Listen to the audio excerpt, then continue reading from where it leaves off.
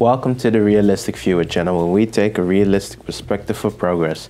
Today, let's talk about how to create your own reference or master file for all your videos. Well, a reference and a master file video is a video file that you use when you want to edit out your videos without adjusting too much to create as much consistency as possible in your videos. This is also a workflow tip, so if you're interested and you want to make videos faster, this is the video that you need.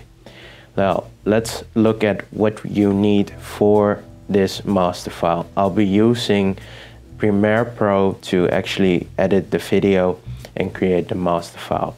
Outside of that program, you also need an intro. So here we have the intro that I'm using for my channel, the outro, of course, we need an outro. Then we need a watermark if you want to protect your content with your own branding on it. Maybe a little bit of music to adjust and give it a little bit of a background noise. The other thing that you might want to consider is creating a lower third. A lower third is a file that you use to uh, display information that you need for your social medias, uh, who you are, etc. Then finally we add it together, then adjust the file, and then we have a master file. Well, let's start from the beginning. We add an intro. You can add the intro by dragging the overall sequence and you are done. So you can add the intro depending on your type of videos at the beginning or after a hot take. So a hot take is you talk about a certain type of topic and then you continue with the video add your introduction as a little bit of a reminder for your viewers that your brand is this so eventually if you show your introduction enough people will start to remember that this channel is associated with you and vice versa. Then we place our watermark in a blank space so you can adjust it and check out where to do it. I also made a video about it so if you're interested go check it out. We drag the watermark by dragging the film signal then drag it out here. Adjust the size to which you need. What I would recommend is go to the outer four layers of your actual video and place it in a corner that you need. So maybe at the right below at the right at the top at the left at the top or at the left. Below. Usually what I do is I place it on the left and adjust the size a little bit so that it is more readable as well. So why did I place it on V2? V2 um, is actually a layer above your main layer so you don't uh, um, collide with your main video. Then we add, of course, the outro. The outro, the same thing. You drag it and you're done. Then we select the video.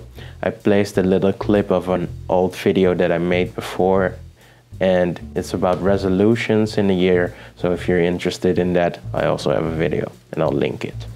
So we place the clip here. Then as you can see, the watermark is already present. Then we adjust the size of the clip itself to what I need and that's okay. What you can do then is stretch out the watermark until you reach your outro. And now we add a little bit of music maybe. We add a small clip. Maybe like this. And we drag it out till here. Then adjust it to this size and then add to a volume that you're going to use a lot so right click then you go to audio gain and adjust audio gain by a certain number that you need so usually I do minus 20 dB and then I get a certain lower background noise that filters out a lot of the other noises. Then what we do is adjust the watermark, of course, again. Then we have the outro, and let's watch at the overall result.